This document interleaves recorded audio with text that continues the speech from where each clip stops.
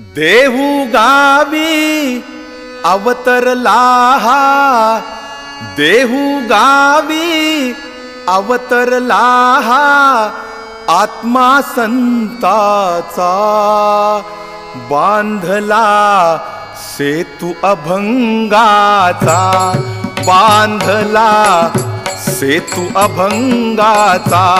बांधला सेतू अभंगाचा देऊ का?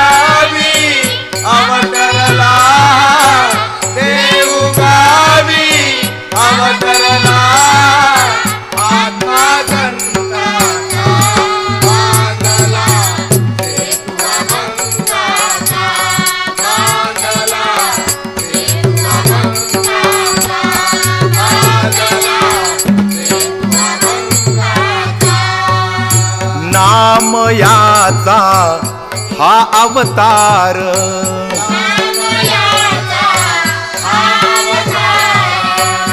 विठ्ठलाचा जो जिव्हार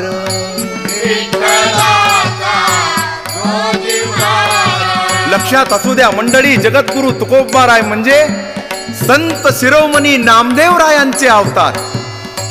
विठ्ठलाचं काळीच पुन्हा तुकोबारायाच्या रूपानं या मृत्यू लोकामध्ये जगाच्या उद्धारासाठी अवतरलेला आहे. नाम याचा हा अवतार.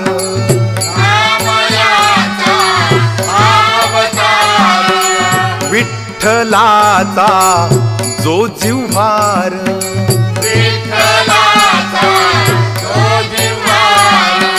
इंद्रायणीने परत दिला हो इंद्रायणीने परत दिला हो गाथा भंगाचा बांधला.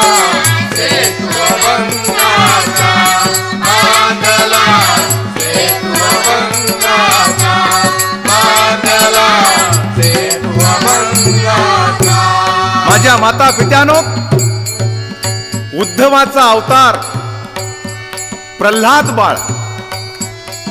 प्रल्हादाचा अवतार संत शिरोमणी नामदेव महाराज.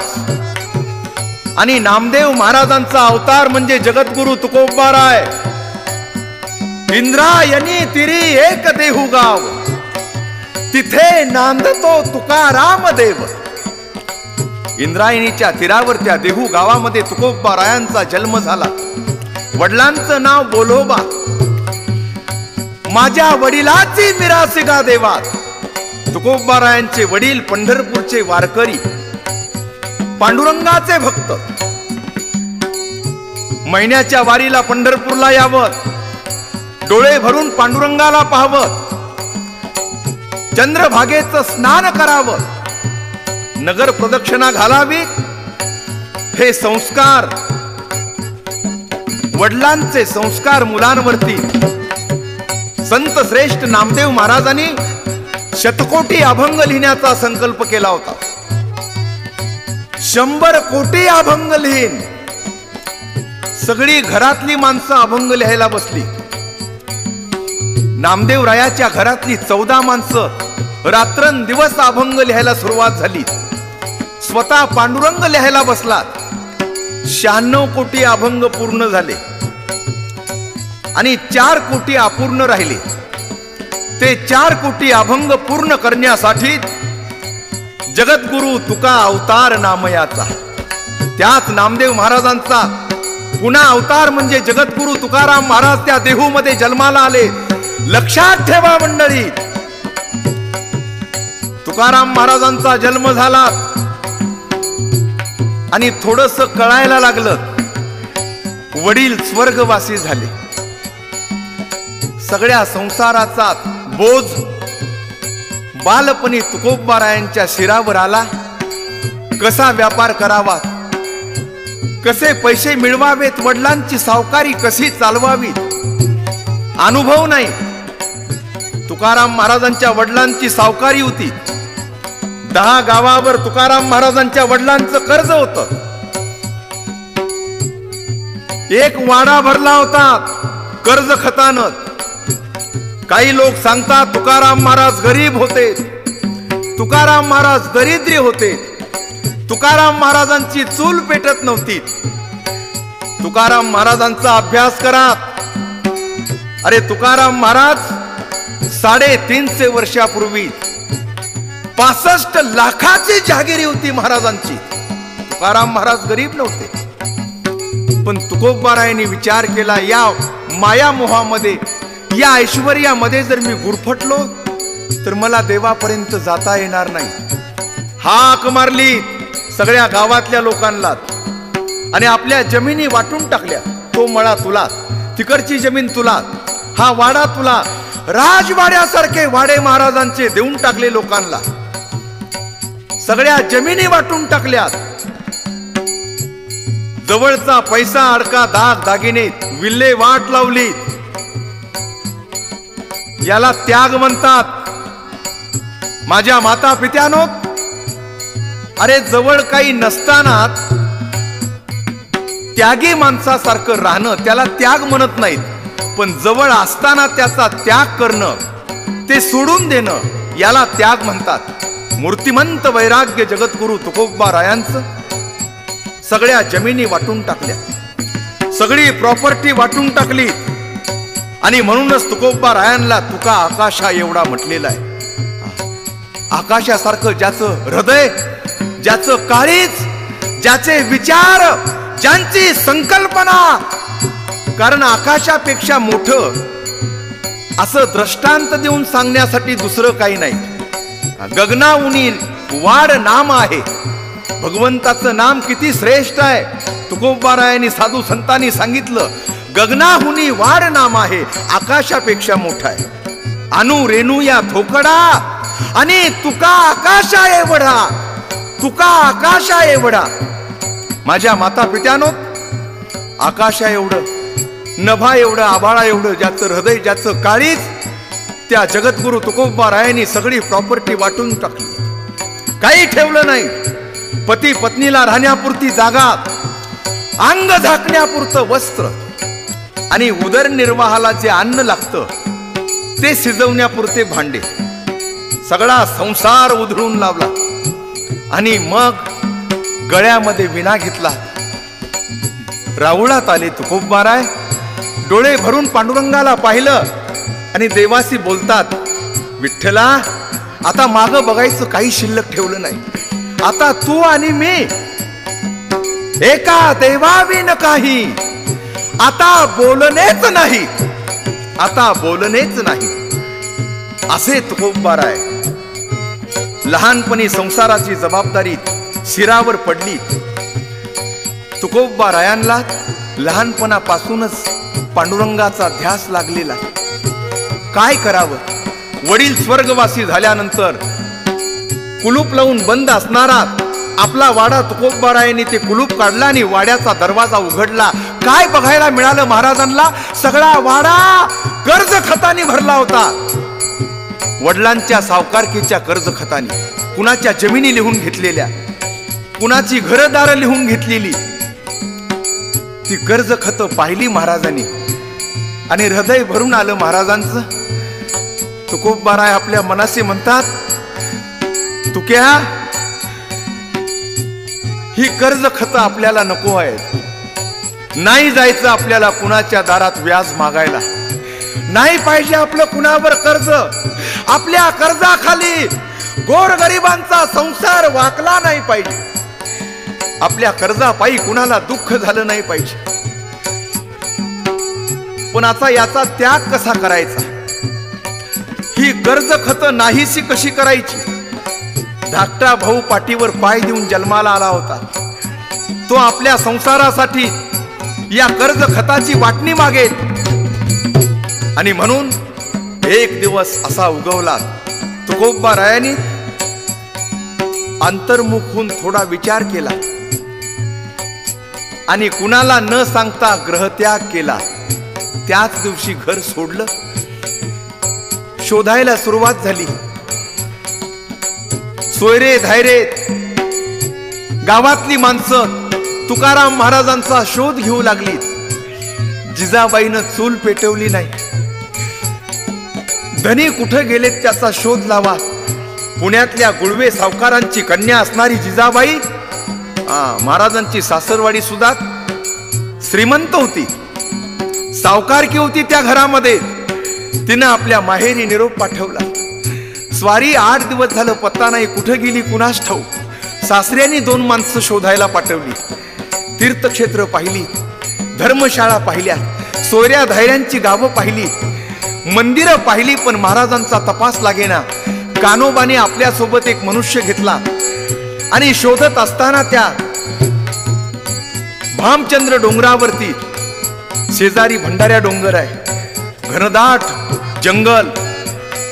वाघाची श्वापदांची भीती असणारी ती जागा आणि त्या डोंगरावरती शोध घेत असताना एका घडीमध्ये एक छोटस शिवालय होत. त्या ठिकाणी जाऊन पाहताच पद्मासन घालून डोळे झाकून तुकोबाराय भजन करत आहेत. पांडुरंगाचा धावा करत आहेत. डोळ्यातून प्रेमाश्रू वाहत आहेत. कानोबाने पाहिलं आणि पाहिल्याबरोबर पंधरा दिवस झाले होते. भेट नव्हती. दादा म्हणून हात मारली. तुकोबा रायाला पाहिल्याबरोबर आणि गळ्यामध्ये जाऊन मिठी मारली. तुकोबा रायाच्या कुशीमध्ये तोंड घुसमटत कानोबानं टाहू फोडला. दादा काय चुकलं आमचं? कशासाठी ग्रहत्याग केलास? कुणाला न सांगता घरातनं का बाहेर पडलास? बाबा स्वर्गवासी झाले. आमची विचारपूस करणाऱ्या तुझ्याशिवाय घरामध्ये दुसरं कुणी नव्हतं. आणि तूही असा न सांगता निघून गेलास. काय घडलं ते मला सांग. कशासाठी घरातनं बाहेर पडलास? चल बघू पहिल्यांदा घराकडं. पुढं घालून आणलं. इंद्रायणीच्या जवळ आल्यानंतर महाराज थांबले. आणि आपल्या भावाला कानोबाला म्हणतात कानया मी घरी यायला तयार आहे. पण माझी एक अडचण आहे. कसली अडचण? बोल दादा कशाची अडचण आहे?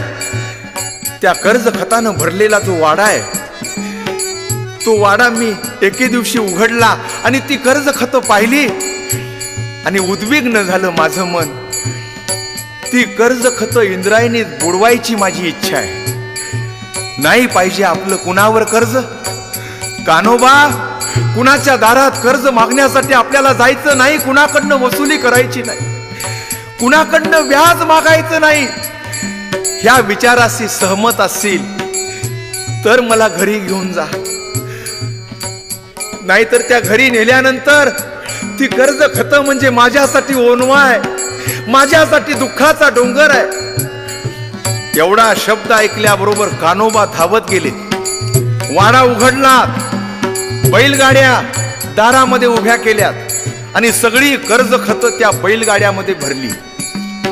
पंचवीस गाड्या भरल्या पंचवीस गाड्या लक्षात असू द्यात. मंडळी तुकोबाराय गरीब नव्हते. हा पंचवीस गाड्या भरल्या त्या कर्ज खतानं. जमिनी लिहून घेतलेल्या. घरदार लिहून घेतलेली. ती जी कागद होती अरे पंचवीस बैलगाड्या भरल्या कानोबानं त्या गाड्या बैल जुंपली आणि इंद्रायणीच्या तीरावर जिथं तुकोबाराय थांबले होते त्या ठिकाणी सगळ्या गाड्या आणल्या. आणि दादाला सांगितलं तुकोबारायांना दादा हीच ना ती कर्ज खत ज्या कर्ज खताने तुला घर सोडायला सांगितलं ज्या कर्ज खताने तुझं मन उदास झालं ज्या कर्ज खतामुळं तू एवढा उद्विग्न झालास तुला आमची कुणाची आठवण राहिली नाही? त्या जंगलामध्ये जाऊन बसलास? हा हीच ना कर्ज खत? ही कर्ज खत आणलेली आहेत. तुला जाळायची असतील तर या क्षणाला जाळून टाक. बुडवायची असतील तर या इंद्रायणीच्या डोहामध्ये फेकून दे. तुकोबारायांनी सगळी कर्ज खत इंद्रायणीच्या डोहात फेकून दिली. हा पायाखाली दाबलीत. वर आली की पुन्हा तुकोबारायांनी पाय द्यावा. भिजून निकामी करून टाकलीत. आणि तुकोबाराय मग हसत हसत प्रसन्न चेहऱ्यानं घराकडं आले. पंधरा दिवस जिजाबाई उपवासी होती. स्वारी कुठं गेली कुणास ठाऊ सारं गाव हजारोच्या संख्येनं तुकोबारायांचं स्वागत करण्यासाठी महाराज तडक मंदिरात गेले. आणि मंदिरात आल्यानंतर पांडुरंगाला म्हणतात हे विठ्ठला आग लावली संसाराला. हा. कोणासाठी केली संसाराची होळी? या पाया वेगळी माय बापा. तुझ्यासाठी. मला फक्त तू हवायस. पांडुरंगा तुझ्याशिवाय कशाची मला आवश्यकता नाही. कुणाची जरूर नाही.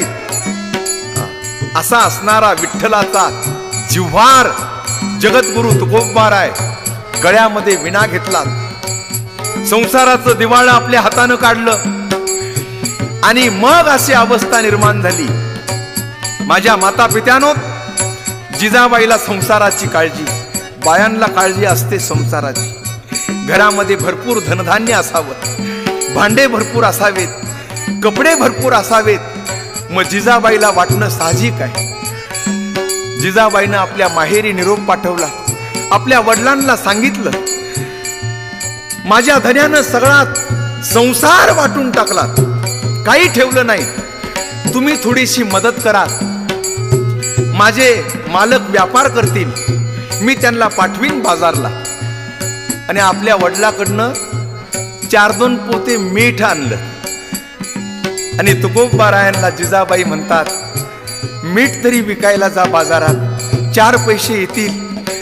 आपली लेकरं बाळं कशी जगवायची? तुम्ही जर रात्रंदिवस भजनच करत बसला तर आपल्या संसाराचं होणार कसं? एवढी भरभराटीचा आणि संपन्न असणारा संसार तुमच्या हातानं त्याची विल्हेवाट लावली. आता कष्ट करून दोन पैसे मिळवू आणि आपल्या लेकरा बाळांना जगवू. काही हरकत नाही म्हणेत. मीठ विकण्यासाठी जातो. भाड्यानं बैल सांगितली. त्या मिठाच्या गोण्या बैलावर घातल्या आणि जुन्नरच्या बाजारात तुकाराम महाराज आले. पुण्यापासून जवळच जुन्नर आहे. त्या जुन्नरच्या बाजारामध्ये तुकोबाराय आलेले आहेत. बाजारामध्ये महाराजांना पाहताच भजने मंडळी जमा झाली वारकरी मंडळी जमा झाली गाव जमा झालं. तुकोबाराय आले. तुकोबाराय आले. आणि सगळ्यांनी तुकाराम महाराजांना घेरावा घातला. महाराज तुमचं बाजारात काही काम नाही. तुम्ही मंदिरात चला बघू. हे मीठ विकायचं हे आम्ही पाहून घेऊ. पण तुम्ही मंदिरात चला. आग्रह करून महाराजांना मंदिरात नेलं. भजनाला सुरुवात झाली. मीठ विकायला माणसं नेमण्यात आली. पहिल्या दिवशी कीर्तन झालं. देहूच्या तुकोबा आंबिल्यांचं कीर्तन आहे. देहूच्या तुकोबा आंबिल्यांचं कीर्तन आहे. सारं गाव हजारोच्या संख्येनं उपस्थित राहिलं. आणि तुकाराम महाराजांच्या मुखातनं निघणारी ती अमृतवाणीत ते परखड शब्द. कशाची भिडभाड न ठेवतात? तुकोबा रायाने आपले परखड विचार समाजाच्या समोर मांडावेत आणि लोकांनी मान डोलवून ते कीर्तन ऐकावं. कारण बहुजन समाजातला हा पहिला कीर्तनकार मंडळी. त्या काळामध्ये नामदेवरायाच्या नंतर बहुजन समाजामध्ये जन्माला आलेला आणि असे परखड विचार समाजात मांडणारा या धर्म मार्तंडांच्या विरोधात दंड ठोकून बंड उभारणारा हा बहुजन समाजातला तुकोबारायासारखा महात्मा. तुकोबारायाने सांगावं वेदाचा तो अर्थ आम्हासीच ठावा अरे वेदाच्या गप्पा मारणाऱ्या पंडितानो अरे काय समजतो वेद तुम्हाला? वेदाचा तो अर्थ आम्हाशीच ठावात. एरानी व्हावा भार माथात. केवढा अधिकार. आणि त्या काळामध्ये परमार्थ करण्याचा अधिकार एका विशिष्ट जातीला होता. आज घराघरात पोत्या वाचतात. घराघरामध्ये पारायण करतात. भगवंताचं भजन करतात. हा परमार्थाचं महाद्वार हा राजमार्ग कुणी खुला केला तर तो जगद्गुरु तुकोबारायांनी लक्षात ठेवा मंडळी. तुकोबारायांचा अवतार झाला नसता तर देव कशाला म्हणायचं? तुम्हाला आणि मला समजलं नसतं. प्रल्हादाचा अवतार उद्धव उद्धवाचा नामदेव महाराज नामदेव महाराजांचा अवतार जगद्गुरु तुकोबाराय ही जी परंपरा आलेली आहे आणि त्या तुकोबारायांचा अवतार म्हणजे निष्काम कर्मयोगी सद्गुरु गाडगे बाबा हा वैधर्म देशात ऋणमोचनासी. तुकाराम अवतार रजकाच वंशी. एका धोब्याच्या घरात हा तुकोबारायांचा अवतार पुन्हा जन्माला आला. वैधर्म देशात ऋणमोचनासी. तुकाराम अवतार रजकाच वंशीत हाती गारगे गाठी चिंध्या तनुला. नमस्कार माझा तया डेबुजीला. नमस्कार माझा तया डेबुजीला अशी ही संतांची परंपरा तुकोबा रायाने लिहिलेला अभंगाचा गाथा समाजाला सोप्या भाषेमध्ये समाजाच्या भाषेमध्ये खेड्यापाड्यामध्ये जाऊन ग्रामीण भागामध्ये जाऊन वाड्या वस्त्यामध्ये जाऊन तुकोबारायांचा हा अभंगाचा अर्थ सोप्या भाषेत समजावून सांगण्याचं महान कार्य सद्गुरू गाडगे बाबांनी केलं मंडळी लक्षात असू द्या. अशी ही संतांची परंपरा आहे. आणि म्हणून अनु रेणू या थोकडात तुका आकाशा एवढा अनुपेक्षा लहान आणि आकाशापेक्षा मोठा असणारा असा जगद्गुरु तुकोबाराय तुमच्यासमोर सादर करीत आहे सुमित गॅसेट कंपनी तुका आकाशा एवढा तुका आकाशा एवढा माझ्या माता पित्यानो तुकोबारायांच्या नंतर कानोबारायांनी तुकोबारायांची गादी चालवली. त्याच तोला मोलानं पांडुरंगाशी भांडण. बाहेर ये! अरे मूर्तीतून बाहेर ये! केवढा अधिकार या घराण्याचा? मी सांगतो मंडळीत तुकोबारायांचा अधिकार ऐका एकाग्र चित्तानं ऐकात आणि म्हणून मी म्हटलेला आहे देहू गावी अवतरला आत्मा संताचा बांधला सेतू अभंगाचा. बांधला सेतू अभंगाचा. बांधला सेतू अभंगाचा.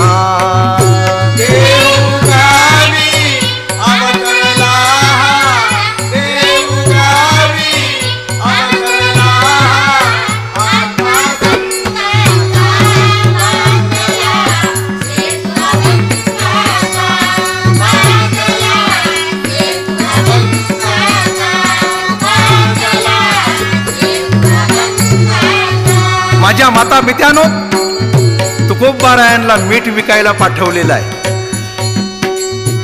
मिठाच्या गोण्या घेऊन जगद्गुरु तुकोबाराय जुन्नरच्या बाजारामध्ये आलेले आहेत.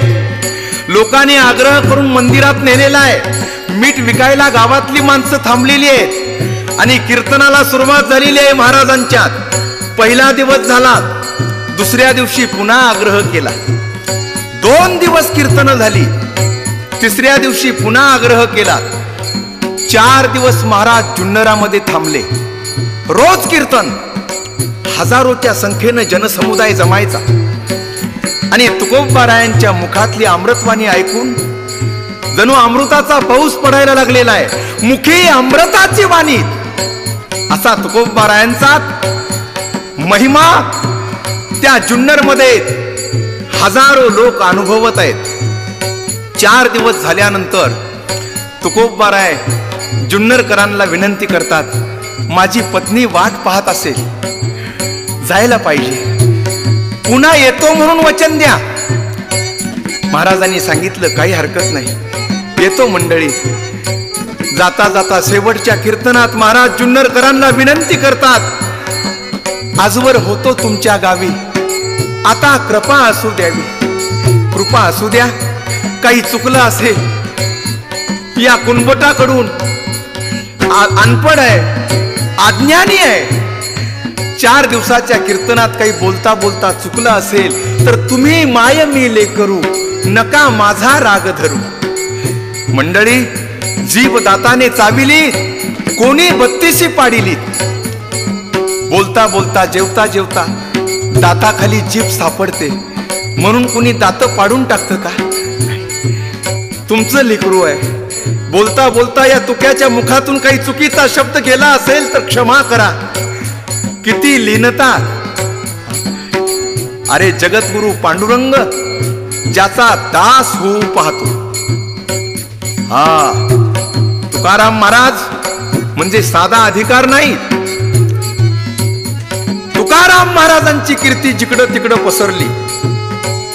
ज्याच्या त्याच्या मुखात तुकोबारायांचं नाव. देहू गावात मराठ्याच्या घरामध्ये एक तुकाराम नावाचा साधू जन्माला आलेला आहे. आणि वेदांताचा अर्थ मराठी भाषेत अभंगाच्या रूपानं लिहितो. रामेश्वर शास्त्री काशीला राहत होता. चार वेद सहा शास्त्र अठरा पुराण मुखोद्गत तोंडपाठ त्याच्यासारखा विद्वान या जगाच्या पाठीवर दुसरा कुणी नव्हता त्या काळात. त्याला समजलं त्या पुण्याजवळ एक देहू नावाचं गाव आहे. आणि मराठ्याच्या घरामध्ये तुकाराम नावाचा कुणी साधू जन्माला आलेला आहे आणि वेदांताचा अर्थ मराठी भाषेत अभंगाच्या रूपानं लिहितो. कोण तुकाराम आहे बघूया. ते काशीवरनं निघालं. मुक्काम दर मुक्काम पायी पायी प्रवास मजल दर मजल करत देहूला येऊन दाखल झाले. रामेश्वर शास्त्री. विचारपूस केली. गावामध्ये आल्यानंतर तुकाराम महाराज कुठं राहतात? तुकाराम महाराजाला महाराज कुणी म्हणत नव्हतं. आता तुकाराम महाराजांचे दोन चार अभंग आम्ही पाठ केली की लोक आम्हाला महाराज म्हणतात. काय योग्यता आहे आमची? पण ज्याने अभंगाचा गाथा लिहिला ज्या तुकोबारायांनी पांडुरंगाला मूर्तीतून बाहेर काढला ज्या तुकोबारायाच्या अभंगाचा गाथा इंद्रायणीमध्ये तरला त्या तुकाराम महाराजांना त्या देहू गावात महाराज कुणी म्हणत नव्हतं मंडळी? येडा तुक्या म्हणायची येडा तुक्या. त्या बाजूला घर आहे. रामेश्वर शास्त्री निघाला. तुकाराम महाराजांच्या अंगणात आला. मुलं अंगणामध्ये खेळत होती. मुलांना विचारलं अरे मुलानो तुकाराम महाराजांचं घर हेच. महाराज कुठं आहेत? मुलांनी सांगितलं शौचाला गेलेले आहेत. तुकाराम महाराज संडासला गेले होते. आता हे संडासवरून येणार कधी? मी पाहणार कधी? बोलणार कधी? मुलांना विचारणारे कुणीकडे गेलेत? म्हणे या बाजूला गेलेत. दिशा दाखवली. रामेश्वर शास्त्री निघाला. थोड्या अंतरावर गेल्यानंतर एका झुडपाच्या बाजूला खड्ड्यामध्ये तुकाराम महाराज शौचाला बसले होते. संडासला बसले होते आणि मुखानं नामस्मरण चाललेलं होतं. रामेश्वर शास्त्री जवळ आला आणि त्याला ऐकायला मिळालं. काय ऐकायला मिळालं? हो हो. काय ऐकायला मिळालं मंडळीत पांडुरंग हरी देवा पांडुरंग हरी.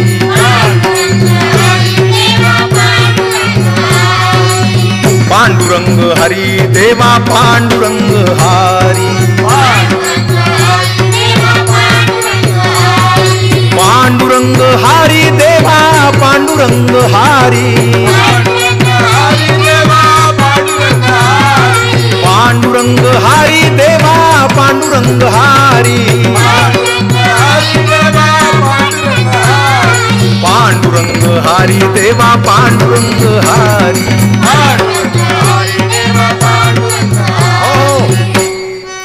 हे भजन ऐकल्याबरोबर तळपायाची आग मस्तकात गेली रामेश्वर शास्त्रीची. आणि तुकाराम महाराजांना म्हणालात ए तुक्या! अभंग लिहिणारा तुकाराम तूच नाही का? कीर्तन करतोस वेदांताचा अर्थ मराठी भाषेत अभंगाच्या रूपानं लिहितोस? अरे लाज वाटली पाहिजे तुला या घाणेरड्या जागेवर या अपवित्र जागेवर या अमंगळ जागेवर देवाचं पवित्र नाव घेतोस? काही अक्कल? तुकोबारायाने शांतपणे ऐकून घेतलं. आणि तुकाराम महाराज उत्तर देतात बरोबर आहे. शास्त्री बुवा या घाणेरड्या जागेवर या संडासच्या अपवित्र जागेवर या अमंगळ जागेवर देवाचं पवित्र नाव घेऊ नये. बरोबर आहे तुमचं. पण काय करू? माझी मज झाली अनावर वाचा. माझी मज झाली अनावर वाचा.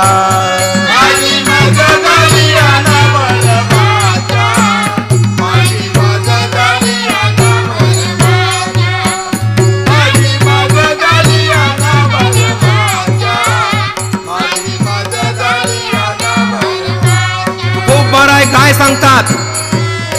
शास्त्री बुवा या घाणेरड्या जागेवर देवाचं पवित्र नाव घेऊ नये. बरोबर आहे तुमचं. पण काय करू? ही जीभ त्याच्या भजनामध्ये एवढी रंगून गिरिली आहे. ती माझं ऐकायला तयार नाही. माझी मज झाली अनावर वाचा. माझी मज झाली अनावर वाचा. माझी मज झाली अनावर वाचा.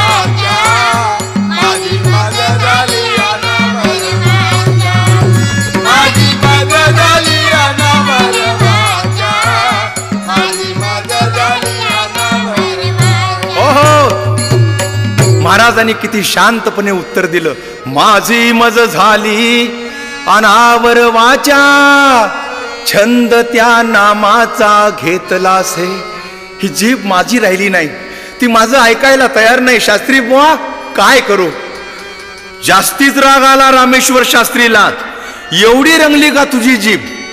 हो मी गळ्यामध्ये विना घेतल्यापासून माझ्या आयुष्यातला हरी भजनाशिवाय वाया गेलेला वेळ.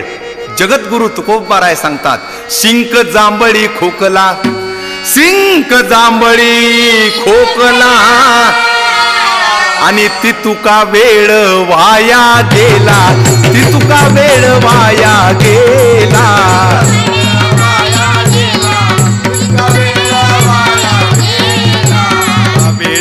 वाया गेला की तुका वेळ वाया गेला.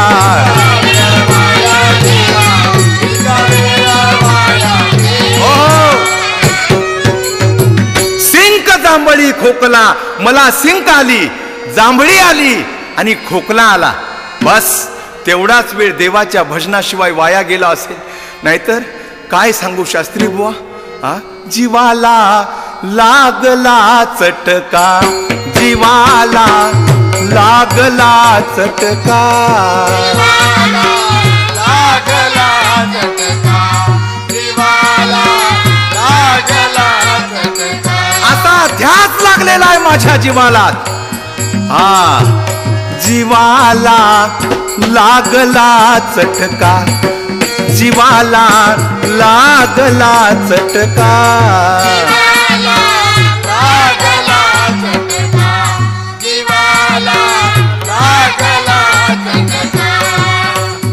हा प्रपंच अवघा लटका हा प्रपंच अवघा लटका जीवाला? लागला जीवाला लागला झटका जीवाला लागला झटका माझ्या माता पित्यानो तुकोबाराय शास्त्री बुवासी बोलत आहेत. रात्रंदिवस त्या विठ्ठलाच्या भजनानं त्याच्या नामाचा ध्यास लागलाय शास्त्री बुवा मला. माझी मत झाली अनावर वाचा छंद त्या नामाचा घेतला से. पांडुरंग ध्यानी पांडुरंग मनी जागृती स्वप्ने पांडुरंग. अशी माझी अवस्था झालेली आहे. शास्त्री बुवाला जास्तीच राग आला. एवढी देवाच्या भजनात तुझी जीभ रंगली? हा कसली जीभ आहे? कार बाहेर! महाराजांनी जीभ बाहेर काढली. जवळ आलात संडास चालूच होती. जवळ आला तुकाराम महाराजांच्या आणि डोक्याची केस एका हातामध्ये आणि ती बाहेर काढलेली तुकोबारायची जीभ एका हातामध्ये धरली आणि तीच बराची तोंडातून बाहेर खेचून काढली. देवाच्या भजनात रंगली नाही का तुझी जीभ? ती ऐकायला तयार नाही. कसे ऐकत नाही ते पाहतो आता. तोंडातून जी बाहेर खेचून धरली. आणि तुकाराम महाराजांना म्हणाला सांग तुझ्या जिबेला घे म्हणाव देवाचं नाव. कशी भजन करते ते पाहतो आता. हो हो. असं म्हटल्याबरोबर काय घडलं मंडळी? तुकोबा रायांच्या अंगावर जेवढे रोम होते रोमा रोमात आवाज निघाला. पांडुरंग हरी देवा पांडुरंग हारी. पांडुरंग हरी देवा पांडुरंग हरी. पांडुरंग हारी देवा पांडुरंग हारी. पांडुरंग हरी देवा पांडुरंग हरी. पांडुरंग हारी देवा पांडुरंग हारी. पांडुरंग हरी देवा पांडुरंग हारी.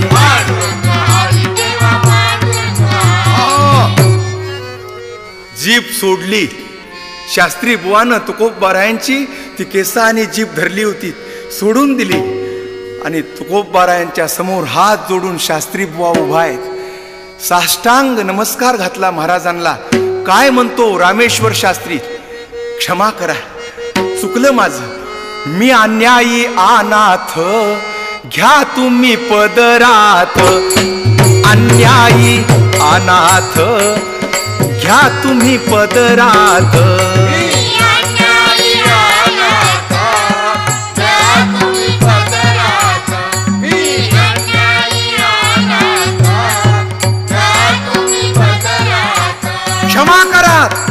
या रामेश्वर शास्त्रीला क्षमा करा पदरात घ्या. आपला अधिकार मोठा आहे. मला समजलं नाही. मी त्रास दिला. माझ्या हातून छळ घडला. तुमचा अधिकार मोठा आहे. खरोखर तुका आकाशा एवढा. हे जे तुम्ही अभंगात लिहिलेलं आहे त्यात काही चुकीचं नाही. त्यात काही चुकीचं नाही. वेदाचा तो अर्थ आम्हासीच ठावा. बरोबर आहे तुम्ही ती योग्यता आहे तुमची. तो अधिकार आहे. आणि ते बघायला मिळालं. क्षमा करा या रामेश्वर शास्त्रीला पदरात घ्या. काय म्हणतो रामेश्वर शास्त्री? मी अन्यायी आनाथ घ्या तुम्ही पदरात.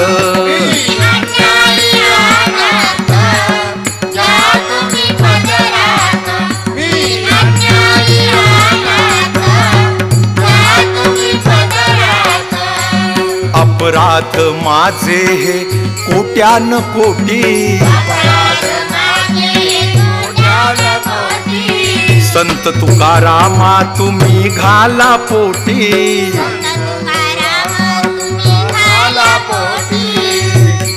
संत म्हणून पुन्हा पुन्हा वाखांनी करावी असा अधिकार आहे तुमचा. पदरात घ्या मला.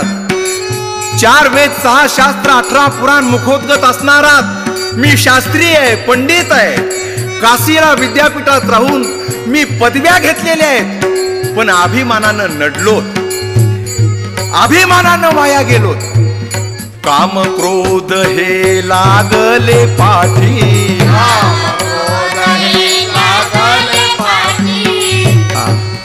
मला क्षमा करात. पदरात घ्यात. अभिमानानं जर वाया गेलो तुकाराम महाराजांचा एक अभंग आहे तुका म्हणे देव भोळ्या भाविकासी. तुका म्हणे देव भोळ्या भाविकासी अभिमानी असी स्वर्गवास नरकवास गर्भवास. अभिमानी असी नरकवास. अभिमानी असी गर्भवास.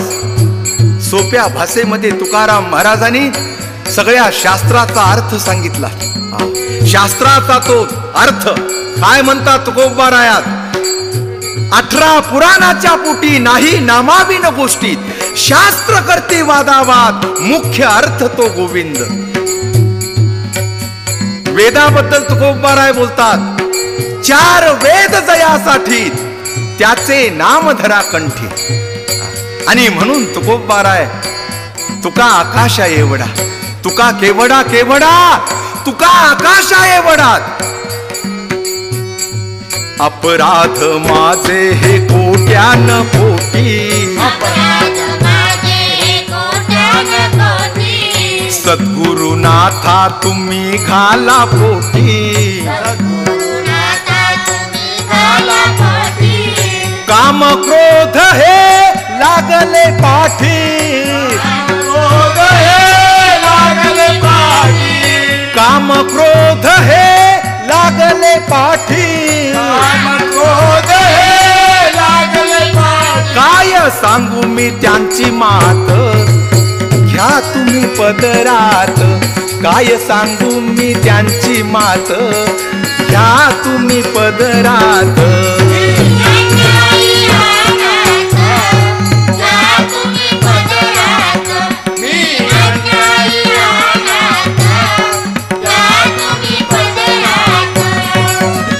माझ्या माता पित्यानो तुकोबारायाच्या चरणावर साष्टांग नमस्कार घातला शास्त्रीनं आणि तुकाराम महाराजांची आरती रामेश्वर शास्त्रीनं लिहिली. देहूतल्या ब्राह्मण मंडळीला हात मारली आणि सांगितलं ब्राह्मणानो अरे तुकोबारायाला त्रास देऊ नका नका करू छळ तुको तुकोबारायांचा. जगद्गुरु तुकाराम महाराज हा. हे रामेश्वर शास्त्रीच्या मुखातले शब्द आहेत. त्या रामेश्वर शास्त्रीनं ब्राह्मण मंडळीला सांगितलं म्हणे रामेश्वर भट्ट द्विजा तुका विष्णू नाही दुजात. आणि म्हणून आज त्या देहू यात्रेच्या सर्व परिसरामध्ये देहूला जी यात्रा भरते मंडळीत विजेच्या वेळेला लाखो लोक आळंदीला येतात लाखो लोक पंढरपूरला जातात लाखो लोक पैठणला येतात. पण देहूला मात्र दहा हजाराची यात्रा भरत होती. दहा हजाराच्या वर सकाळी माणसं यायची तुकाराम महाराजांच्या दर्शनाला आणि संध्याकाळी सगळी देहू मोकळी असायची. एका दिवसात यात्रा निघून जायची. एक बहुजन समाजातला महात्मा पण त्या देहूच्या यात्रेचं जे दुःख आहे ते दुःख गाडगे बाबाच्या संस्थेतल्या लोकांना बघवलं नाही. आणि म्हणून देहूच्या इतिहासात त्या यात्रेच्या इतिहासामध्ये बदल करण्यासाठी हरिभक्तपरायण रामदास महाराज यांनी पंढरपुरावरनं पांडुरंगाचा रथ देहूला विजेच्या वेळेला आणि रायगडावरून तुकोबारायांचे शिष्य छत्रपती शिवाजी राजे. त्या शिवाजी राजांची पालखी थाटा माटात अरे लाखो लोक त्या दिंडीमध्ये आणि शिवाजी राजाच्या पालखीमध्ये सहभागी झालेले असतात. आणि अशा थाटा माटात सद्गुरूच्या दर्शनासाठी छत्रपती शिवाजी राजांची पालखी. आणि आपल्या भक्ताच्या भेटीसाठी पांडुरंगाचा रथ सोहळा पंढरपुरावरनं मोठ्या थाटात निघालेला असतो. आणि लाखो लोक त्यात सहभागी झालेले असतात. तुकोबारायाच्या चरणाजवळ. लक्षात ठेवा. तुकोबारायांच्या पायाजवळ सुवर्ण अक्षरामध्ये ही रामदास महाराजांची सेवा नोंद केली पाहिजे. असं काम हरिभक्त परायण रामदास महाराजांनी केलेलं आहे. हे गाडगे बाबांच्या लोकांनी केलेलं आहे. लक्षात असू द्या उभा महाराष्ट्र याला साक्ष आहे. आणि म्हणून म्हटलेलं आहे अनु रेणू या खोकडा तुका आकाशा एवढा तुका आकाशा एवढा हो हो आणि त्या दिंडीमध्ये लाखो भक्त भजन करत असतात. काय भजन करतात? तुम्ही करा. विठोबा तुकाराम तुकाराम तुकाराम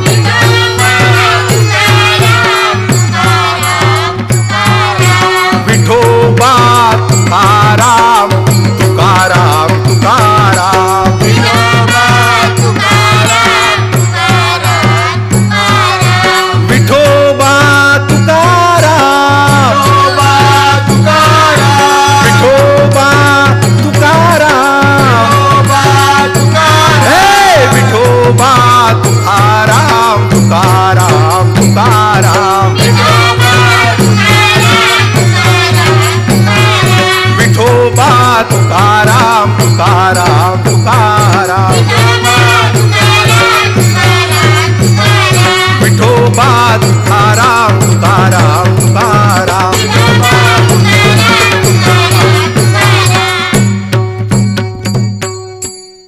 विठ्ठल तो आला आला मला भेटण्याला. विठ्ठल तो आला आला मला भेटण्याला. विठ्ठल तू आला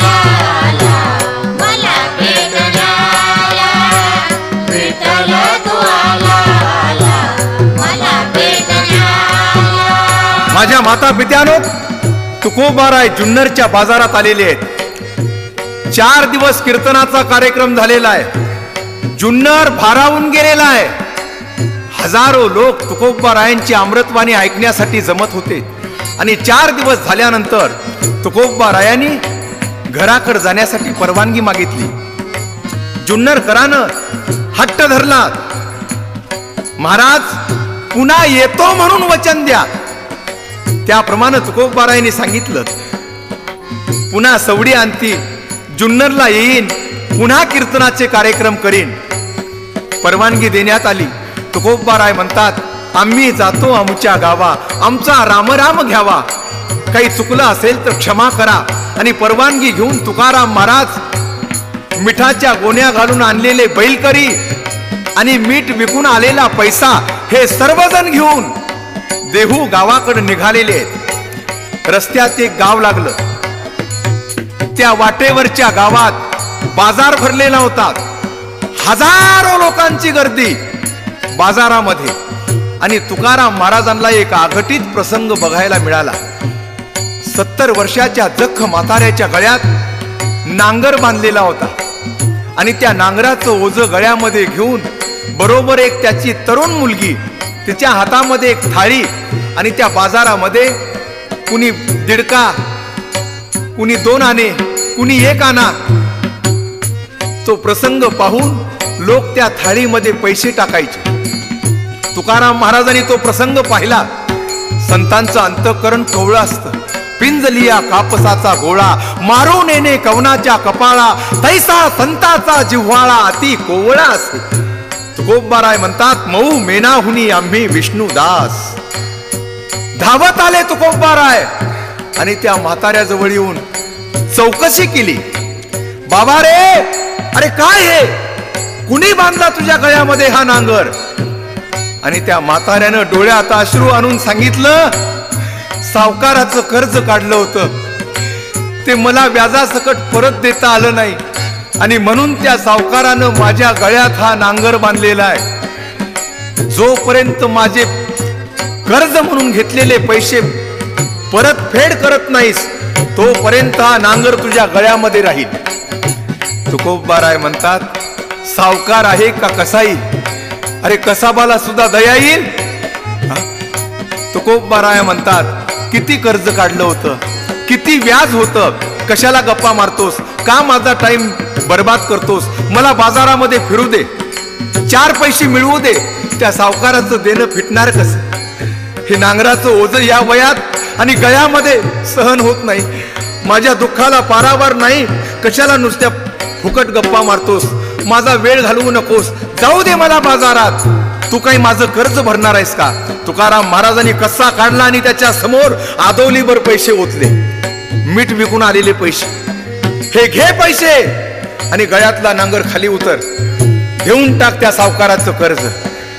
त्यानं तुकोबा रायांच्या चरणाला मिठी मारली देवच आलास बा- बाबा माझ्यासाठी देवच आलास गळ्यातला नांगर तुकोबा रायांनी सोडवला आणि ही घटना बैलकर्यांनी पुढं जाऊन जिजाबाईला सांगितली महाराजांच्या धर्मपत्नीला सांगितली.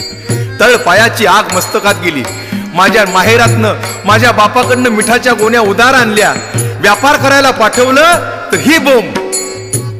काय करावं यांना? कसं समजून सांगावं? कसं यांचं डोकं ठिकाण्यावर येईल? त्या पंढरपूरच्या काळ्या भूतानं झपाटलंय माझ्या मालकाला? संसारात एक क्षणभर स्थिर व्हायला तयार नाहीत. काय करावं ते सुचेनात? तुकाराम महाराज सावका शांततेनं देहूला आलेले आहेत. आता त्यांना ठाऊक होतं. घरी गेल्यानंतर आपल्याला काय प्रसाद मिळणार आहे? आपली पत्नी रागावणार आहे. ते सगळं बोलणं आपल्याला ऐकून घ्यावं लागणार आहे. महाराज घराकडे गेले नाहीत. सरळ इंद्रायणीवर स्नान केलं आणि राहुळामध्ये जाऊन पांडुरंगाची पूजा करत बसले. आणि पांडुरंगाला म्हणतात भगवंता तुका मने भार घालू देवावरी. होईल कैवारी नारायण होईल कैवारी नारायण. आणि तेवढ्या जिजाबाईला समजलं राहुळामध्ये जिजाबाई आलेले आहेत आणि बाजाराचा हिशोब मागत आहेत. तुकोबाराय डोळे झाकून बसलेले आहेत. बाकीच्यानी कानोबानी जिजाबाईला शांत केलं. आणि जिजाबाईला म्हणतात वहिनी दादानी जरी पैसे दिले त्या मिठाच्या विक्रीचे पैसे आपल्या घरात नाही आले. त्या म्हाताऱ्याला दिले. त्या सावकाराचं कर्ज भागवलं. त्याच्या गळ्यातला नांगर सोडवला. ते कुटुंब आशीर्वादाचा वर्षाव करील आपल्या घरावर. ती जमेची बाजू आहे. परोपकार केलाय दादाने. रागावू नका. आणि पुन्हा पहिल्यासारखं दैनंदिन दिनचर्या सुरू झाली महाराजांची. पूजा करावी भजन करावं कीर्तन करावं भंडाऱ्या डोंगरावर जावं जिजाबाईनं पाठीमागनं महाराजांचं जेवण घेऊन जावं. पंधरा पंधरा दिवस भंडाऱ्या डोंगरावर महाराजांनी थांबावं. असे उदार अंतकरणाचे जे का रंजले गांजले त्यासी म्हणे जो आपुले तोच साधू ओळखावा देव तेथेची जाणावा. हे आचरण जिथं होत ते जगद्गुरु तुकोबाराय तुका आकाशा एवढा वडा. तुका आकाशा एवढा वडा माझ्या माता पित्यानो तुकोबारायने अभंगाचा गाथा लिहायला सुरुवात केली. ज्या ज्या वेळेला स्फुरण होईल स्फूर्ती निर्माण होईल त्या त्या वेळेला अभंगाची रचना करावी. आपल्या वहीमध्ये तो अभंग लिहून ठेवावा. आणि ही जिकडं तिकडं कीर्ती पसरली. गावातल्या त्या परिसरातल्या ब्राह्मण मंडळीला हे काही सहन होईना. आणि त्या ब्राह्मण मंडळींनी धर्मसभा भरवली. तुकाराम महाराजांना बोलावणं पाठवलं. तुकाराम महाराज सभेला हजर आहेत. आणि त्या ब्रह्मसभेमध्ये त्या ब्रह्मवृंदांच्या समोर तुकोबाराय हात जोडून उभे आहेत. धर्मसभेमध्ये तुकाराम महाराजांना विचारण्यात आलं.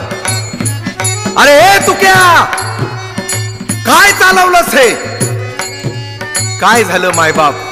अरे उच्च वर्णामध्ये जन्माला आलेल्या आम्ही लोकांनीच हे केलं पाहिजे. हा अधिकार नाही तुला.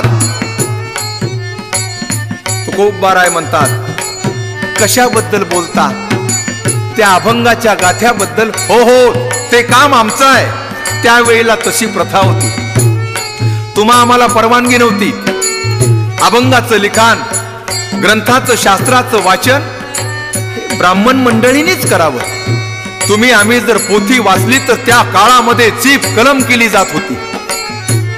वाचायची बाजूला राहू द्या पोथी ऐकली तर कानामध्ये शिस भरलं जात होत.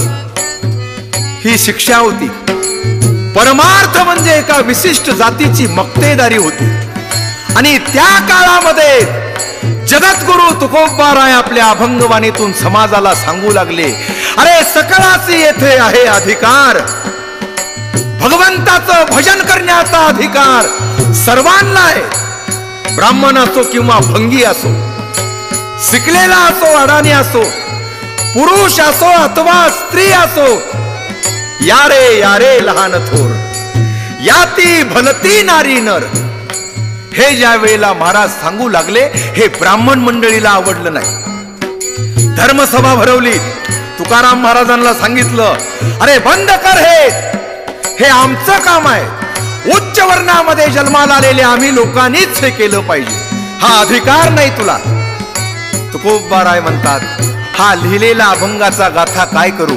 अरे फेक त्या इंद्रायणीमध्ये. अंगावर शहारे उभा राहिले. इंद्रायणीच्या डोहात हा अभंगाचा गाथा? माझ्या भगवंताचं गुणगान ज्या अभंगात गायलेलं आहे. अरे माझा देव किती मोठा आहे. ज्या अभंगातून मी सांगितलेला आहे. तो अभंगाचा गाथा या इंद्रायणीमध्ये फेकून द्यायचा? नाही नाही. तुकोबाराय विनंती करतात. नका नका मंडळी. काय म्हणालात? हा अभंगाचा गाथा फेकून द्यायचा? त्या अभंगानं काय केलं? काय शिक्षा करायची असेल तर या तुक्याला करा. खांबाला बांधून मारा या तुक्याला. ती शिक्षा तुम्हाला कमी वाटत असेल तर हे हात कलम करा. याच हाताने अभंग लिहिले. तोडून टाका हे हात. ती शिक्षा तुम्हाला कमी वाटत असेल तर सुळावर द्या या तुक्याला. तुकडे तुकडे करा या शरीराचे. पण अभंगाचा गाथा पाण्यात फेकू नका. माझ्या पांडुरंगाचं गुणगान त्या अभंगातून गायलेलं आहे. माझा देव किती मोठा आहे त्याच्या भजनामध्ये काय सामर्थ्य आहे त्या अभंगातून मी सांगितलेलं आहे. नका नका मंडळी अभंगाचा गाथा पाण्यात फेकू नका. पण नाही आली या लोकांना दया मंडळी. हिसकावून घेतला अभंगाचा गाथा आणि फेकला इंद्रायणीच्या डोहामध्ये. हंबरडा फोडला महाराजांनी टाहो फोडला. पांडुरंगा! विठ्ठला माणसाच्या जन्माला आल्यानंतर तुझं भजन करण्याचा अधिकार नाही? मग का जन्म दिलास माणसाचा? कुत्र्या मांजराच्या जन्माला घालायचो तस मला? आणि जन्म दिलास तर का अधिकार नाही तुझं भजन करण्याचा? आजपर्यंत असा हात पसरला नाही तुझ्या समोर पण आज आज माझा अभंगाचा गाथा जसाच्या तसा मला परत हवाय. तुझ्यासाठी संसाराची होळी केली. पांडुरंगा चिंध्या केल्या माझ्या संसाराच्या तुझ्यासाठी. उधळून लावला माझा प्रपंच. कधी बायका मुलांची तमा बाळगली नाही. कधी घरादाराकडे पाहिलं नाही. शेती बाडी संसार दाग दागिने पैसा अडका भांडी कुंडी. राजवाड्यासारखे माझे वाडे अरे होळी केली प्रपंचाची. खूप बार आहे म्हणतात कोणासाठी केली संसाराची होळी? कुणासाठी होळी केली? भगवंता कोणासाठी केली संसाराची होळी? या पाया वेगळी माय बापा. तुझ्यासाठी संसाराच्या चिंध्या केल्यात पांडुरंगा. आणि हे बक्षीस माझ्या पदरात टाकलंस काय? हंबर हंबरडा फोडला पांडुरंगा! विठ्ठला माझा अभंगाचा गाथा. जसाच्या तसा मला परत मिळे तोपर्यंत. अन्न खाणार नाही पाणी पिणार नाही. अनुष्ठान मांडलं महाराजांनी. इंद्रायणीच्या तीरावर अनुष्ठान मांडलं. गळ्यामध्ये विना हातामध्ये चिपळ्या. काय म्हणतात? तुकोबबार आहे? हो हो. काय म्हणतात तुकोबबार आहे? पांडुरंग ध्यानी. पांडुरंग मनी.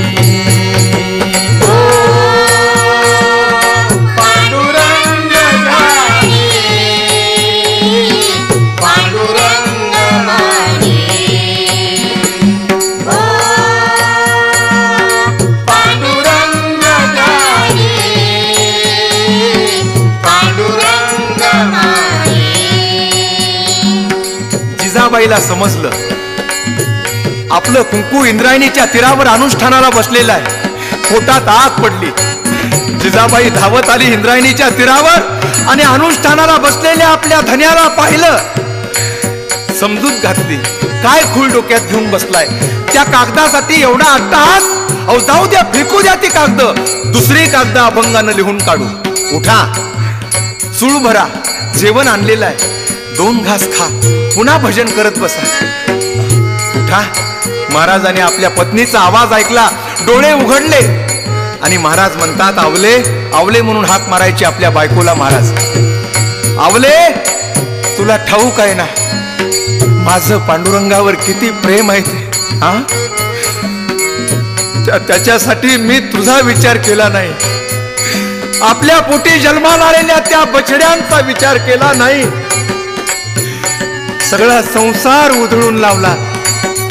होळी केली प्रपंचाची संसाराच्या चिंध्या केल्या त्याच्यासाठी.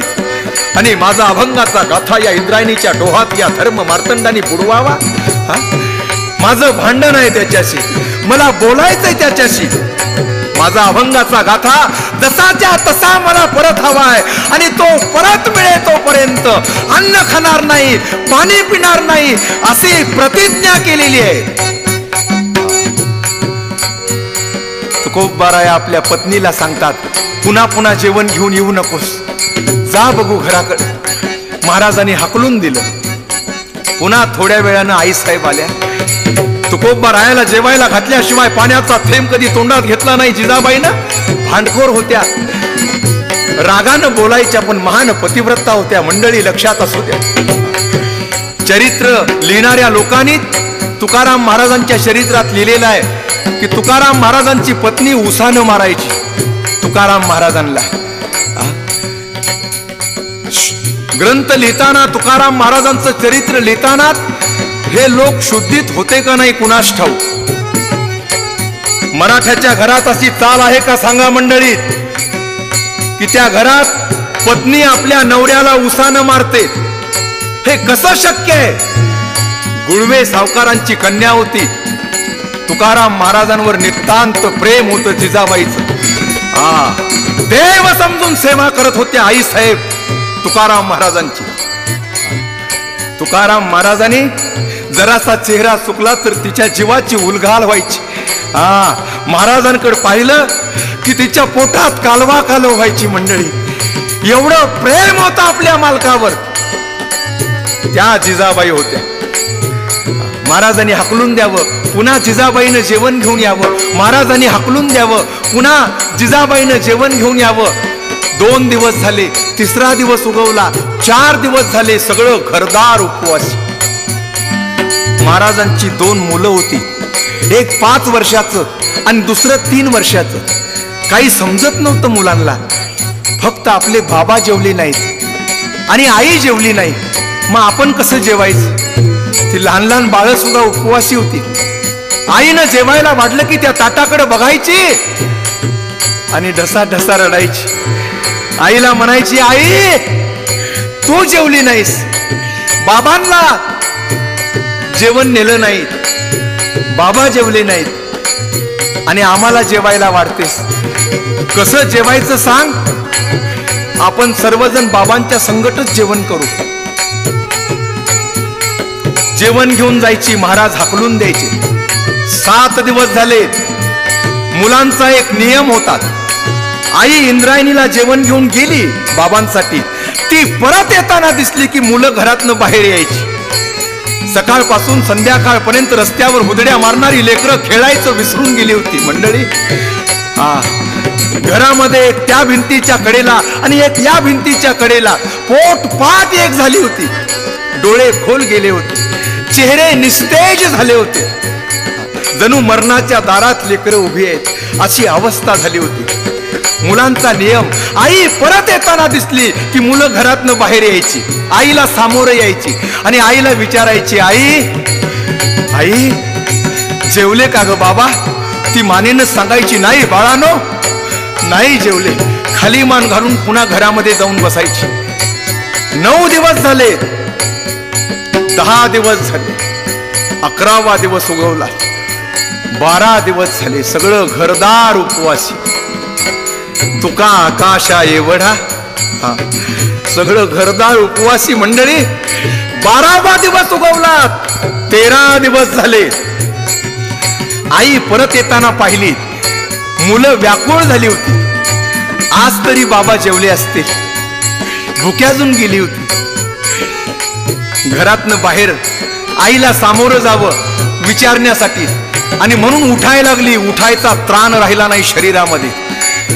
भिंतीला धरून उठायचा प्रयत्न करायची धपदिशी खाली पडायची. पुन्हा उठायचा प्रयत्न करायची धप दिशी खाली पडायची. आई दारात उभा राहून आपल्या बाळांची अवस्था पाहत होती. आपल्या काळजांच्या तुकड्याची काय अवस्था झाली? पोटात आग पडली जिजाबाईच्या. डोक्यावरली जेवणाची पाटी तिथंच फेकून दिली आणि जिजाबाई धावत आल्या. आणि आपल्या दोन्ही बछड्यांना हृदयाशी धरलं. रडू लागल्या जिजाबाई. बाळानो तुम्ही का उपवासी मरतात? तुमच्या बाबांचं देवासी भांडण आहे. तुम्ही खा बघू मुकाट्यानं. घाई घाईनं ताट वाढायला लागली. मुलं सरकत सरकत आईच्या जवळ आली. आणि आपला चिमुकला हात आईच्या मांडीवर ठेवून आईकडे पाहून म्हणतात आई जेवायला वाढतेस? बाबांना सोडून? हे नाही. आपण सर्वजण बाबांच्या संगठच जेवण करू. अगं तुकोबारायांची मुलं आहोत आम्ही. माझ्या माता पित्यानो शुद्ध बीजा पोटी फळे रसाळ गोमटी फळे रसाळ गोमटी. तुकोबारायांचं रक्त होतं त्या लेकरांच्या अंगात. मूर्तिमंत वैराग्य होतं. बाबांच्या संगटच जेवण करू. मग मात्र जिजाबाईला राहावेना. कडी खांद्यावर आपली मुलं उचलून घेतलीत आणि आई साहेब इंद्रायणीच्या तीरावर आल्या. महाराजांच्या पुढ्यात मुलं बसवलीत आणि महाराजांना म्हणाल्या ऐकलत का? आग लागू दे तुमच्या भजनाला. बंद करा तुमचं भजन. आणि जरा डोळे उघडा आपल्या बछड्यांकडे बघा. मी तुम्हाला सांगितलं नाही. आज तेरा दिवस झाले. तुम्ही अनुष्ठानाला बसलेल्या दिवसापासून आपल्या बाळांनी पाणी सुद्धा पिलं नाही. आपल्या बाळांनी पाणी सुद्धा पिलं नाही. त्यांना मारायचं ठरवलं का तुम्ही? मृत्यूच्या दारात आपली लेकरं उभी आहेत. मृत्यूच्या दारात आपली लेकरं उभी आहेत. चूळ भरा दोन घास खा. तुम्ही खाताना त्यांनी पाहिलं की ते जेवायला लागतील. ऐका माझ. तुकोबार आहे धावा करत आहेत. पांडुरंगा मला भेटो जा पांडुरंगा. मला भेटो जा पांडुरंगा. मला भेटोनीचा पांडुरंगा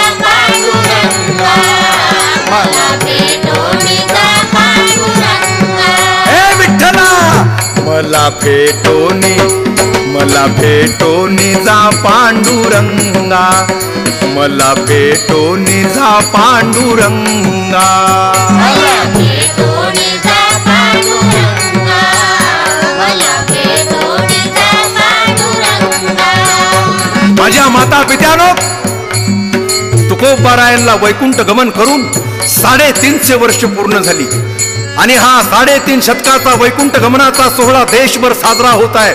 सुमित कॅसेट कंपनी त्या निमित्तानं समाजाला भेट देत आहे. तुका आकाशा एवढा तुका आकाशा एवढा तुका आकाशा एवढा मला भेटो निजा पांडुरंगा. मला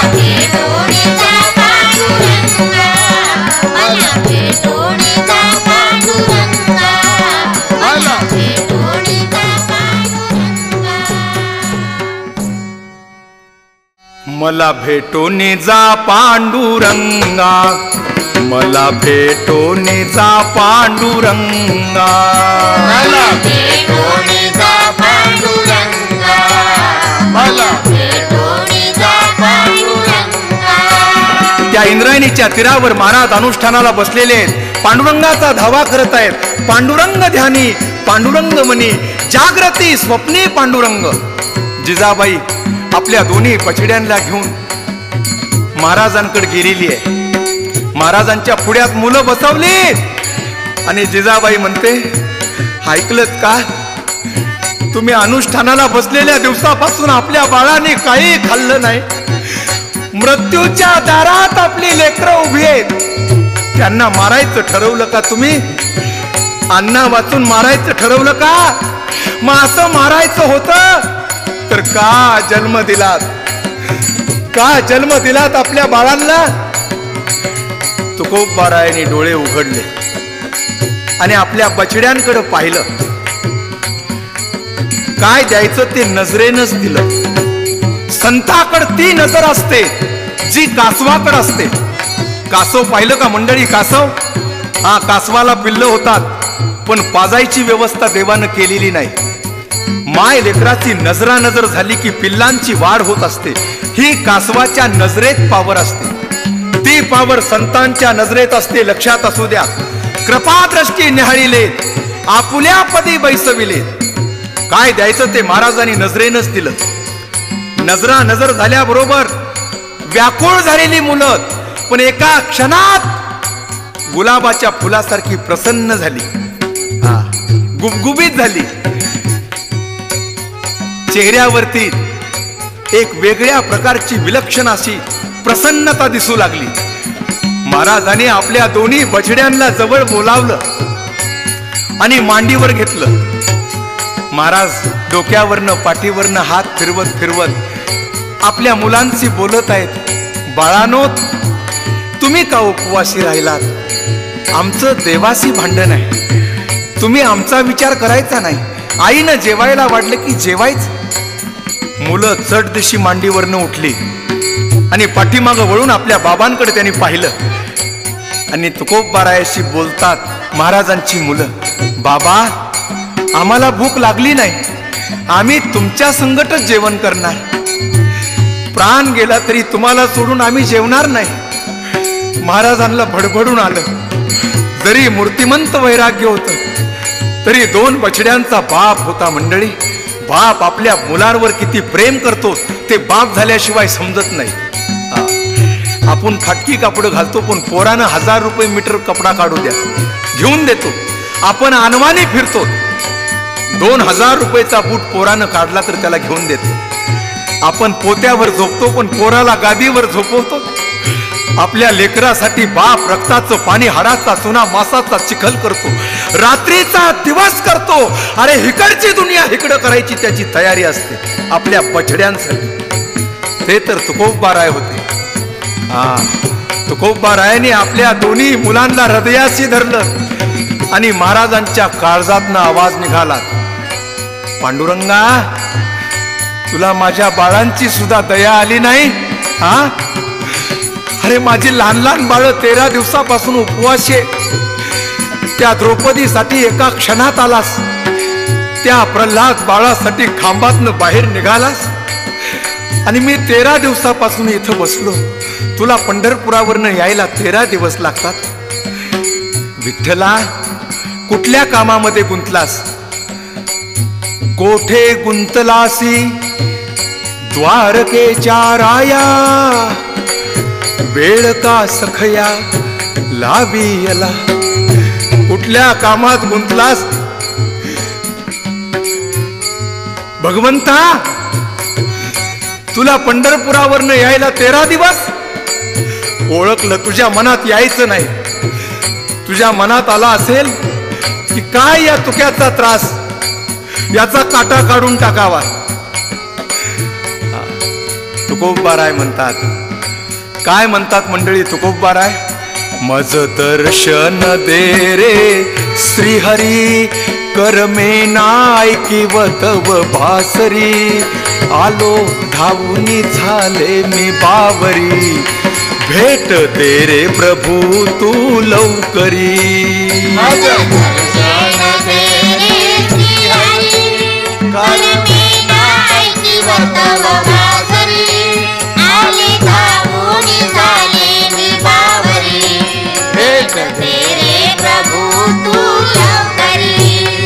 चला सगळी काम सोड आणि धावते देहूला. मज दर्शन दे रे श्रीहरी करमे नायकी वतव बासरी आले धावूनी झाले मी बावरी. भेट दे रे प्रभू तू लवकरी. माझं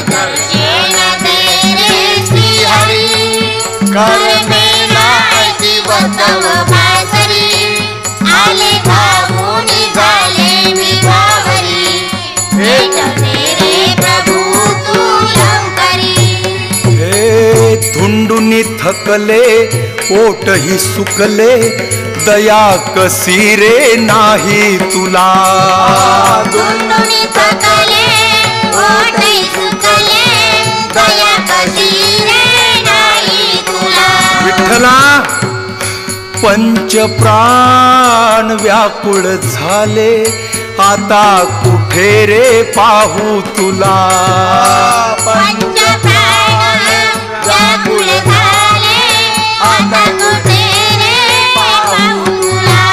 नाही माया कसी रे?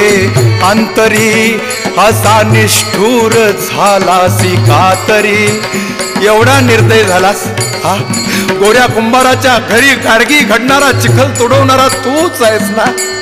त्या सावंता माळ्याच्या शेतात तार धरणारा हा खुरपण करणारा तूच आहेस ना? चोखा मेळ्याची ढोरं ओढणारा त्याच्या बायकोचं भाळणपण करणारा तूच आहेस ना? पांडुरंगा का निर्दय झालास? का निष्ठूर झालास? त्या दामाजी पंतासाठी महार होताना तुला काही वाटलं नाही हा? त्या बेदरच्या बादशहाच्या दरबारामध्ये जोहार केलास तूच आहेस ना तो? पंच प्राण व्याकुळ झाले आता कुठे रे पाहू तुला? पंच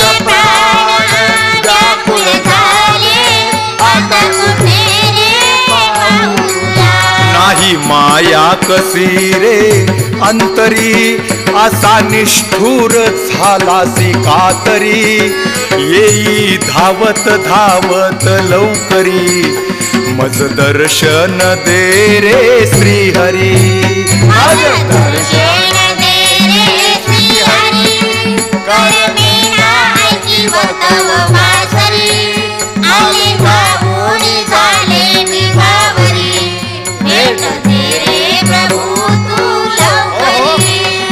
माझ्या माता पित्यानो तुकोबार पांडुरंगाचा धावा करत आहेत. विठ्ठला धावते.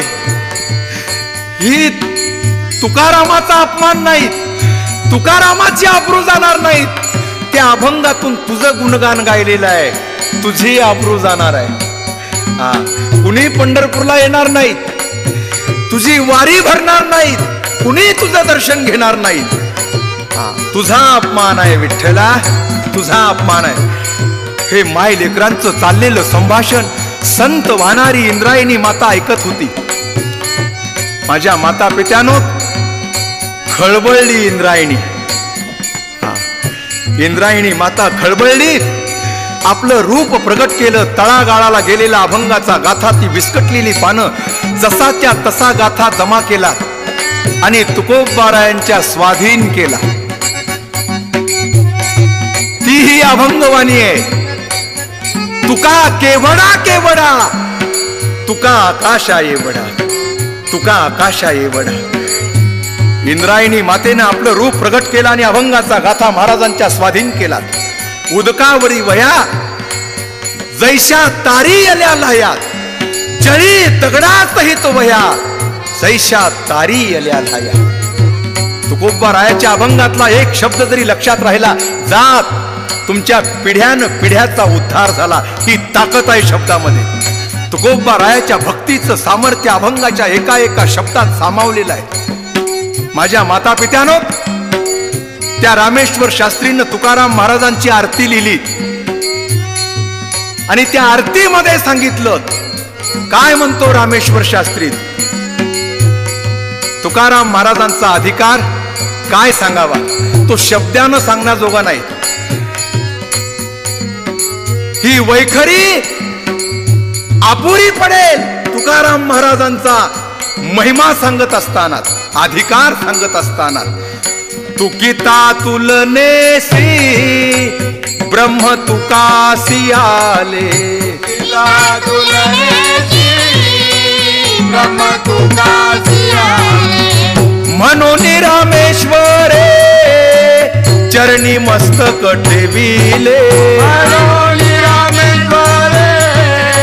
चरणी मस्तक ठेविले रामेश्वर शास्त्री म्हणतो अरे मी परीक्षा पाहिली एक तराजू घेतला तराजूच्या एका पारड्यात तुकाराम महाराजांना घातलं आणि दुसऱ्या पारड्यामध्ये ब्रह्म घातलं. दोहींचं वजन समान झालं.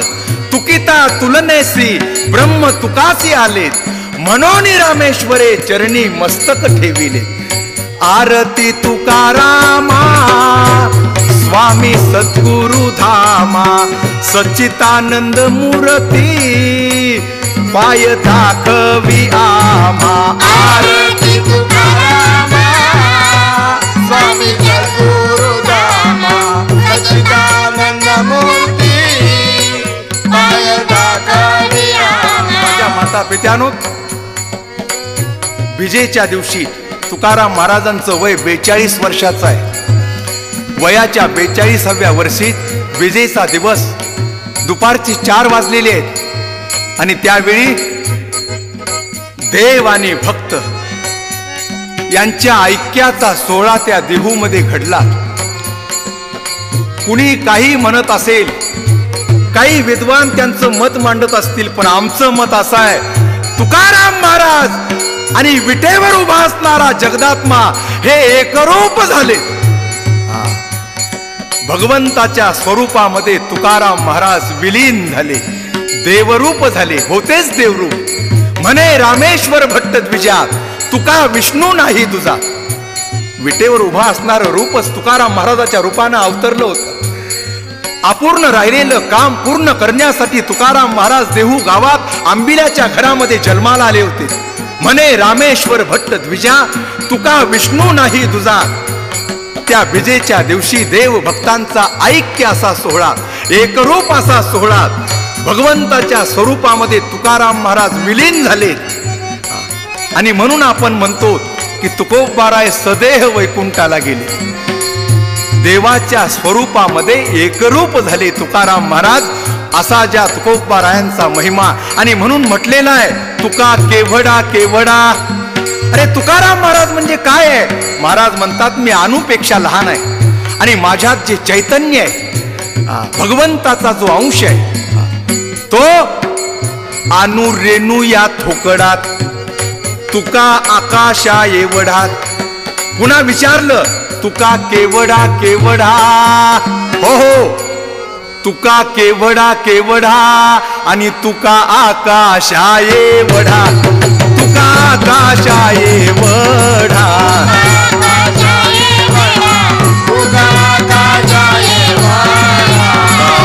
एवढा आकाशा तुका काशाये वढा.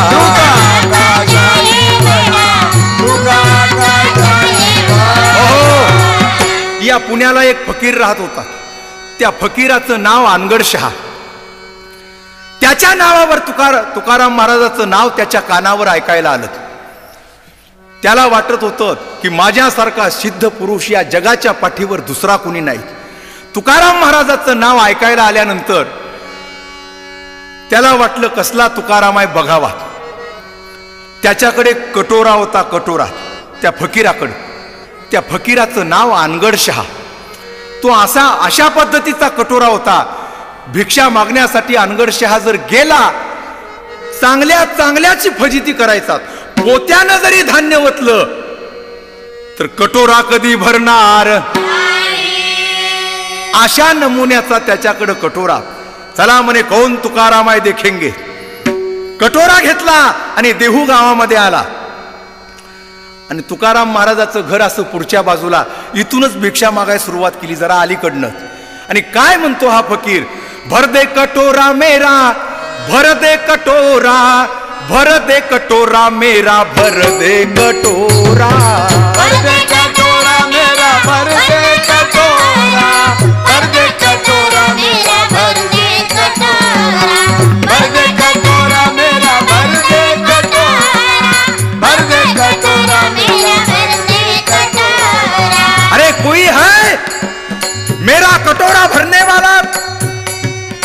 भर दे कटोरा मेरा भर दे कटोरा भर दे कटोरा मेरा भर दे कटोरा भर दे कटोरा मेरा भर दे कटोरा भर दे कटोरा मेरा भर दे कटोरा भर दे कटोरा मेरा भर दे कटोरा भर दे कटोरा मेरा भर दे कटोरा हो हो तुकाराम महाराजांची पत्नी जिजाबाई आणि महाराजांची लहान मुलगी भागीरथी तिचं नाव दळायला बसल्या होत्या.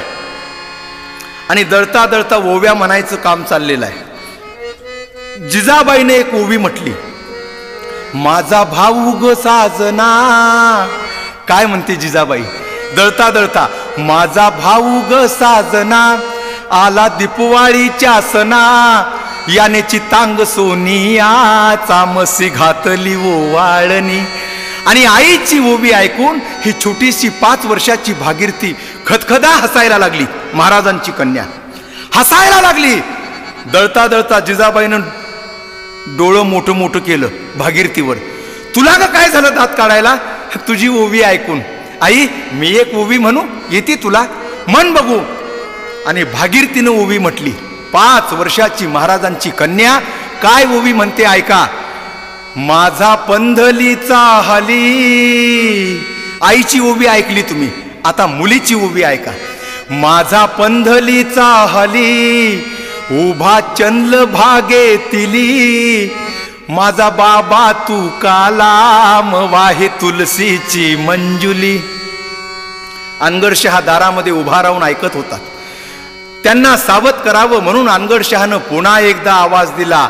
भर दे कटोरा मेरा भर दे कटोरा भर दे कटोरा मेरा भर दे कटोरा भर दे कटोरा मेरा भर दे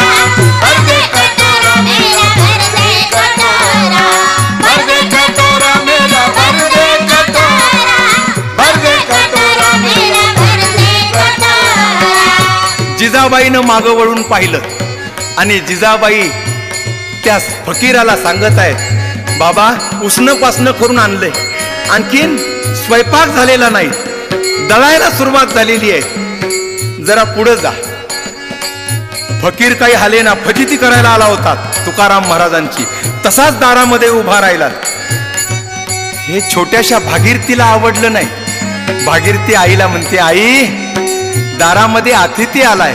हे एका संताचं घर आहे. वाढ काहीतरी. असा अपमान करू नको दारात आलेल्या अतिथाचा तू बी बापासारखीच उदळ भवानी आहेस ज्याच्या घरात जाशील त्याचं कल्याण करशील. बस मुकाट्यात. त्यावेळेला भागीरथी आपल्या आईला काय म्हणते मंडळी? हो हो. काय म्हणते भागीरथी? नको नको बोलूया पली. बोबड्या शब्दात नको नको बोलूया पली. न बाबा घली वालमुत भली. पीत साईला नको देऊ भाकली आज मला खायाला. नको देऊ भाकली आज मला खायाला. नको देऊ भाकली आज मला खायाला. नको देऊ भाकली आज मला खायाला. आई दोन दिवस जशी उपवासी होते आज उपवासी राहील माझ्या वाट्याची जी भाकर आहे त्या भाकरीचं पीठ त्या फकीराला वाढ त्याचा अपमान करू नकोस. तुकोबारायांचं घर आहे आई नको नको बोलूया पली न बाबा घली वालमुत भली. पीत साईला नको देऊ बाकली. आज मला खायाला नको देऊ भाकली आज मला खायाला. नको देऊ भाकरी आज मला खायला. नको. देऊ भाकरी आज मला खायला. हो हो आई काही वाढायला तयार नाही लक्षात आलं. आणि त्या भागीरथीनं जात्याच्या बाजूला पडलेलं मुठभर पीठ उचललं. पळत निघाली. आईनं पुन्हा भागीरथीला एक झपाटा दिला. आईच्या तावडीतनं सुटका करून घेतली. आणि बाहेर त्या फकीराला वाढण्यासाठी ही छोटीशी भागीरथी आली. हातामध्ये कटोरा धरून फकीर उभा होता. आणि ती काय म्हणते फकीराला? कलाग्लहन साई. चिमुत ही कलाग्लहन साई.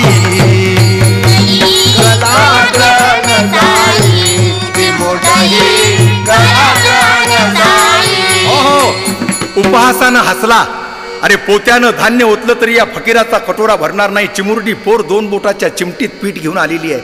पण लेकराचा अपमान नको म्हणून कटोरा खाली केला आणि चिमट कटोऱ्यामध्ये सुटली. काटो काट कटोरा भरला. तुकाराम महाराजांची कन्या होती मंडळी. रिद्धी सिद्धी धासी अंगण झाडी ती उचिष्टे काढी ती मुक्तिचारी. हा अधिकार ज्या माझ्या जगद्गुरु तुकोबारायांचा त्यांची कन्या होती ती. आणि म्हणून तुका आकाशा एवढा लक्षात असू द्या. तीन बोटाची चिमट कटोऱ्यामध्ये सुटली. कटोरा काटोकाट भरला. पीठ खाली सांडायला लागलं आणि दचकला फकीर. कटोरा फेकून दिला आणि पुरीला उचलून घेतलं. आणि विचारलं बाळ तू कुणाची? तिला रडायला आलं बाबा किती गोल बोलला हो तुम्ही हा? मी कुणाची आहे सांगू? कन्या मी संत तुकयाची. कन्या संत तुकयाची. कन्या संत तुकयाची संत संत संत